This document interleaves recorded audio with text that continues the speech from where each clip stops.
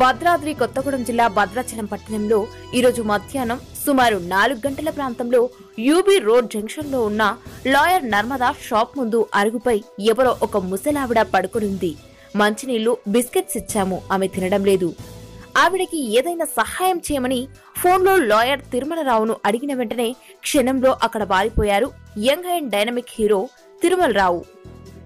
తను వెంటనే తమ్ముడు కడాలి నాగరాజుకు ఫోన్ చేసి సంఘటనా స్థలానికి చేరుకున్నాము. ఆ వృద్ధురాల్ని పరిశీలించి చూడగా జ్వరంతో విరేచనాలతో బాధపడుతుంది. బాగా నీరసంగా ఉంది. పేరడిగితే చెప్పలేదు. ఊరు పాల్వాంచా అని చెప్పింది. ఆమె పరిస్థితి చూసి మనసు బాధ కలిగింది. ఆ వృద్ధురాలికి మంచినీళ్ళు టీ తాగించి వన్ నాట్ ఎయిట్కి ఫోన్ చేయగా పది నిమిషాల్లో అంబులెన్స్ వచ్చింది. ఆ వృద్ధురాల్ని జాగ్రత్తగా అంబులెన్స్లోకి ఎక్కించి ప్రభుత్వ ఏరియా హాస్పిటల్ భద్రాచలంలో జాయిన్ చేశాము. డాక్టర్ సునీల్ గారు ఆ వృద్ధురాల్ని పరీక్షించి సత్వర వైద్యం అందజేశారు.